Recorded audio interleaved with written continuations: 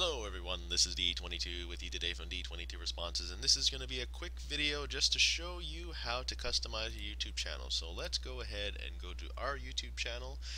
Now this is your standard setup. You have here your channel settings, your analytics, and your video manager. So what we're going to do, we're just going to pause that because I don't want to hear my voice also during this time.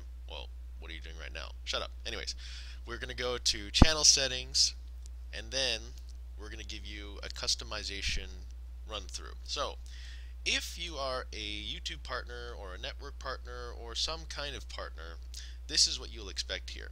Now, you can go to where it says upload watch page channel icon and then you can upload a icon where it'll say watch page like for example let's say you go to one of these pages here let's let's go for example let's pick one of these if we can.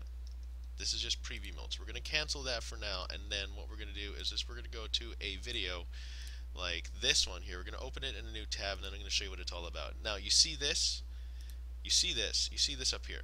This is what's called your watch page icon and this is what you necessarily upload to get that picture so that is necessarily what we'll do so we're going to close that and then you go back into your channel edit settings and then that's how you do it. You go back to where it says upload watch page icon and then that'll do. So and then you enter your channel banner height which is maximum 150 pixels so that they can see all of it.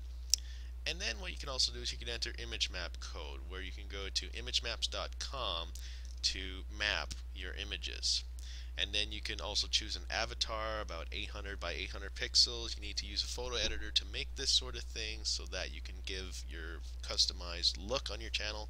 And you can also put in your background maximum size 1 megabyte. And that's how you necessarily do it. For example we can go to remove here and then what you can do is you go to choose file and you can choose a picture so that's what you can do. And then you can go to info and settings, change the title, change the description, put the tags in so people can find it. This advanced section is for tracking and conditional redirections and all that wonderful technical stuff. And then you can also set the overview, blogger, everything live broadcaster. So there's really nothing too hard about that. So that's my short tutorial on it. I hope this helped.